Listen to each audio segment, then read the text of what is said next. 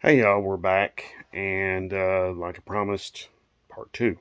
Okay, um, I've got. Oh, I'm sorry. You don't want to see me. You want to see the engine. So here we go.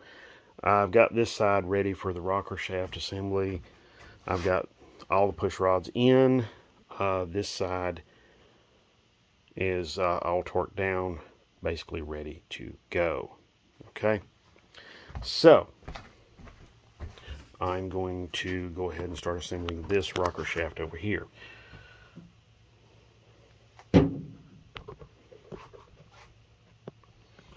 So let's see, can I get this angle down here where y'all can see what I'm doing?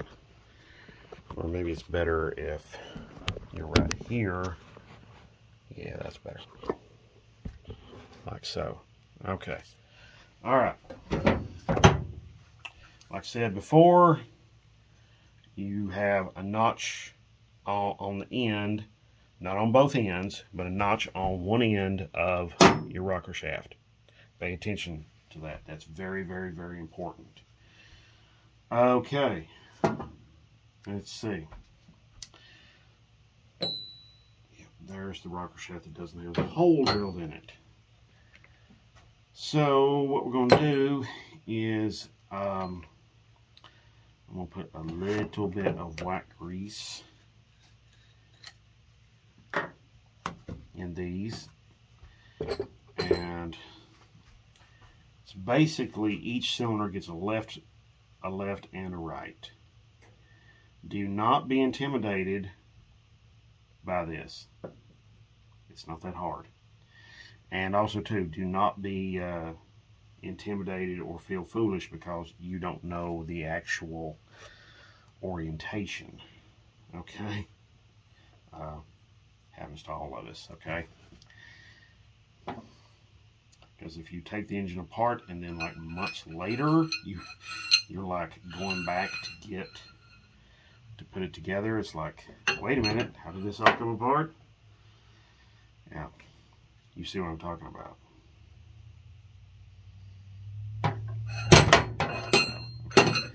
Next is, Got a right, got a left. Actually, I need to reverse this, so I'll just take the left off, put it on back here. Okay, pretty simple stuff. Um, you know, if you do get them wrong, you know, check your check your alignment. Make sure you get things correct. Okay, so um, use some type of engine assembly grease. I'm using the uh, Lubriplate number 105. Some people don't like that. I do. Works good for me.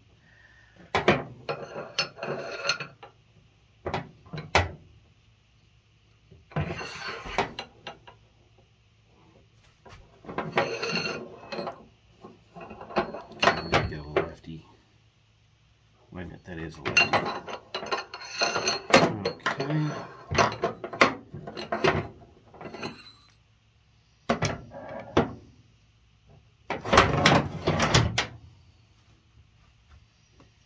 Alright, now let me get this right one on.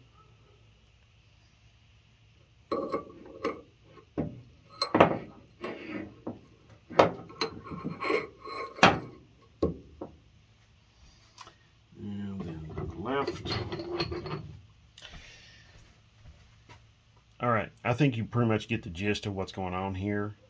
I'm going to pause the video. I'll pick right back up, okay?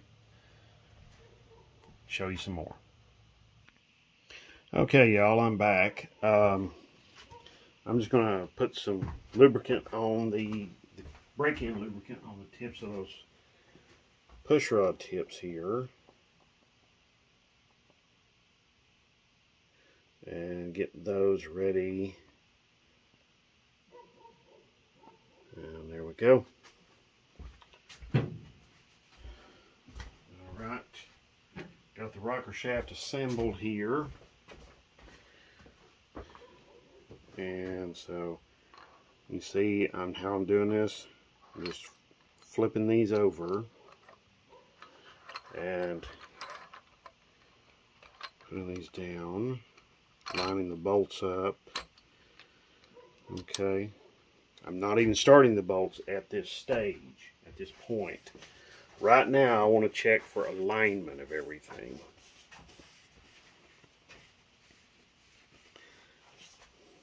Okay. I want to check for alignment of all of the rocker arm tips. They're all looking pretty darn good, to be honest. I'm liking this. So, let's see what I'm seeing here. Okay. Um, we want to do a, a general looky-loo. Let me get the light here. We want to check our push rods. How close are they to the push rod guide holes? Now, some of them, you can't really be real, real hardcore about this particular look here right now because you're going to want to go back and uh, look at these when once they're torqued down. See, like this side here. So we can see, you know, we can see this side here's a little close, but it's not bad. Yeah, and then trying to like illustrate this so that you can see all of this pretty well.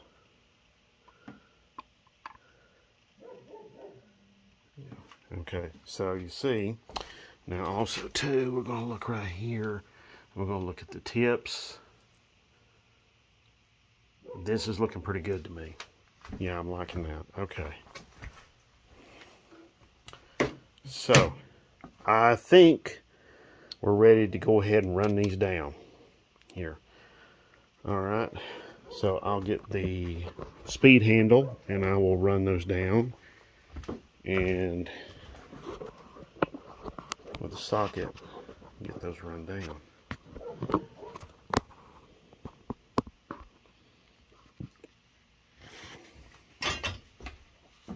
I'll tell you what, I mean, I'm just running these down with a speed handle. I don't think you need a, like a bird's eye view of that. But I'll tell you what. Oh, um, here's a good reason why you should have multiple manuals Looked in the Chilton guide manual. No torque specs listed for the rocker shaft. Look in the Haynes 71 through 91 torque specifications rocker arm shaft bracket bolts. 25 foot pounds. So there we go. Good reason to keep on keep plenty of manuals around. I'm going to sit you all right up here. All right there we go. That's a pretty good view. Run these down real quick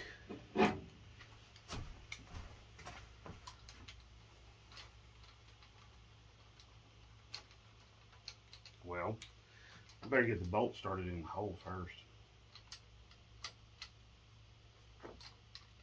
That might be a good good uh, place to start, mightn't it?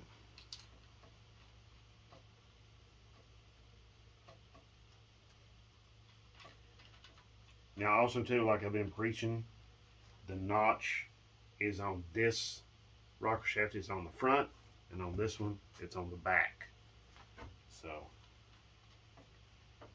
all right, we got them started. Let's run them down. Now you want to check, as you're doing this, you want to check and make sure that everything is lining up. Nothing is in a tremendous bind. Okay. Now be aware you will be opening valves because the cam lobe is at different places right now.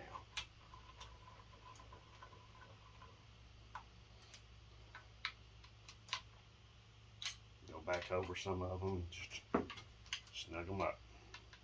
Okay, you're not trying to torque them down here, And then when you torque them down, they go to 25 foot-pounds. Not 125, but 25. Okay. Now, I know you see this really nice torque wrench and you're thinking, man, I'll never afford be able to afford anything like that. Well, uh, just keep your eyes open at the uh, at your local uh, pawn shops and stuff like that. Also, Facebook Marketplace, Craigslist, that sort of thing. Don't be afraid.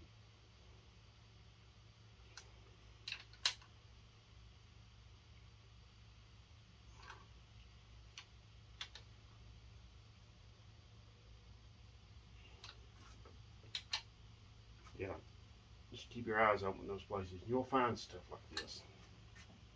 Okay?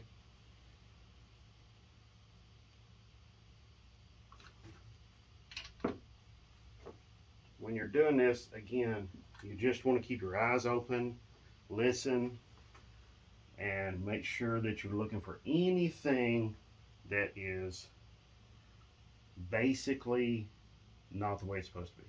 Some of these rock push rods are going to be loose. Some of them are not. Reason why? Your some of your lifters are on the base circle of the cam lobe while some rocker are, rockers are not. Okay, they're on the they're on they're not on the base circle. All right, one more little thing I'm going to do. I'm going to put a little bit of break-in lube in here.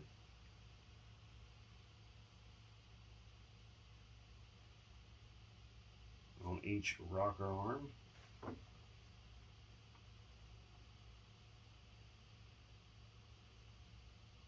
we go. That's looking pretty good to me.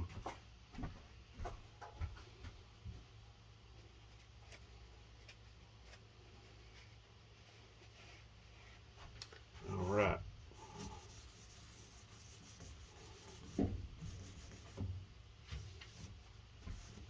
Okay. Um, now, I want to thank you, you all. I want to thank you all for over 240 subscribers. It's amazing. And I am really blown away by that. It really blows my mind because there's over 200 of you all that wants to listen to this stuff and you want to learn this stuff, which to me is really super cool. And me talking to you here, I just thought of something. Probably need to put a little bit of lubricant right here. I know the rock arms I had here were lubricated right there. These probably aren't. So, anyway, so it really makes me happy that you all want to do that, you know. So I thank you so much. And I'm really serious about that Serious about providing you all with good quality content and information.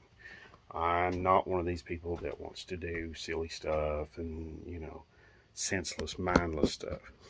Now, yes, I do, from time to time, I will be dropping videos that are not in the garage where I'm working on something. Sometimes they're going to be out here on the road where, I, where I'm maybe vacationing at, or maybe I'm at a car show or something like that. And I've got, I'm going to be making two or three videos here in the next, I don't know, month or two. And they're going to blow your mind. Okay.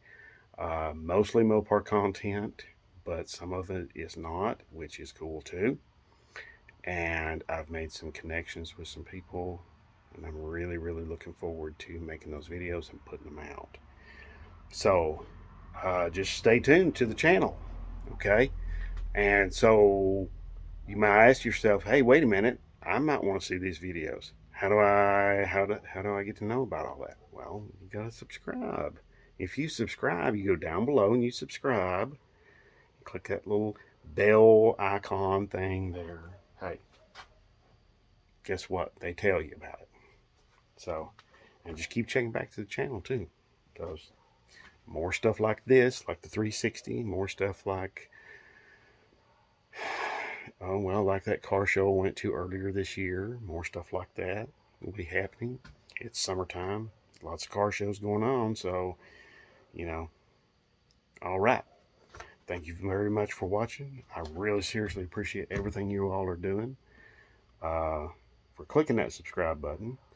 And I just really appreciate it. So have a great one. God bless.